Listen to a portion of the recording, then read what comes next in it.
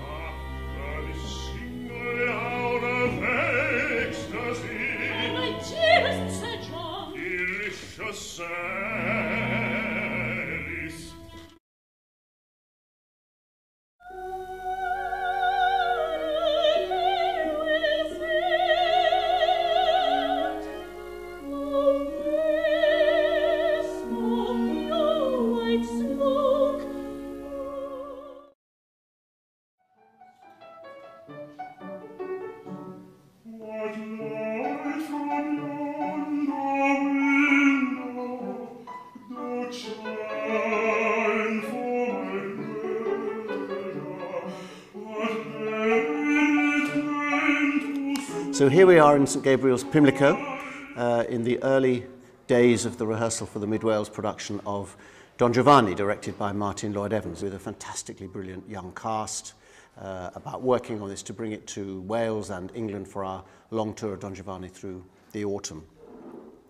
Um, it's just one of the wonders of the world, this piece. Every time I do it, every time I hear it, I, I marvel at what Mozart manages to do with this story that actually had been around for centuries. It was a street performers did it, pantomime performers did it, commedia dell'arte performers do it. So it's far from the first time this story's come out. But so Mozart and his wonderful librettist Lorenzo da Ponte, who we must not forget, um, have given us something that turns into a work of art beyond all that you'd expect from this particular story. It goes much deeper than just the story about a, a, a rake um, and how he deals with women. It goes into the heart of how people work. And he mixes this wonderful, the comedy, which Don Giovanni always was historically before the um, 17th and 18th centuries. He mixes that with high seriousness, opera seria as it's known, to have an amalgam of some things which are sometimes heartrendingly tragic, other times very, very comic.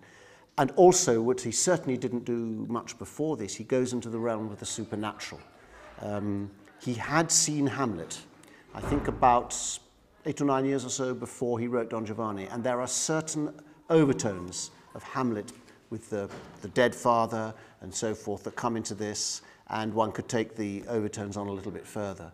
So every time I, we as musicians uh, come to this, singers and, and players, and possibly even more so directors with the Martin Lloyd Evans, who's done such wonderful work with Mid Wales and Bridget, our designer, and all the team, You've got a problem because you mustn't do it differently for the sake of it, yet it's such a piece full of possibility to reinvent and and so we've got a, a vibrant new production from Martin but it's that's the exciting thing to to reinvent it place it somewhere new yet it's such a great piece that as long as one is faithful to the libretto, faithful to what Mozart says in the in the opera, says in the music, because one of the he's the great composer for saying things in the orchestra all the time about what's going on. You should be in no doubt at any point in this piece what's going on if all you did was listen to the orchestra, let alone anything else. So we're on this exciting cusp of finding out how it's going to work, how it's going to pan out, how the the cast are going to interact, what they're going to find from their characters,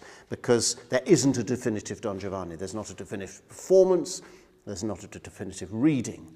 And um, this is an exciting journey, and we hope that you will enjoy it when you catch up with the Mid Wales performances. We open in Newtown in early September and take it around many of the venues we've come to know and love in Wales and, and in England. So here's to this journey we're going to make. Um, hope we don't go like Don Giovanni to hell by the end of it, but uh, we're all very excited in Pimlico this afternoon.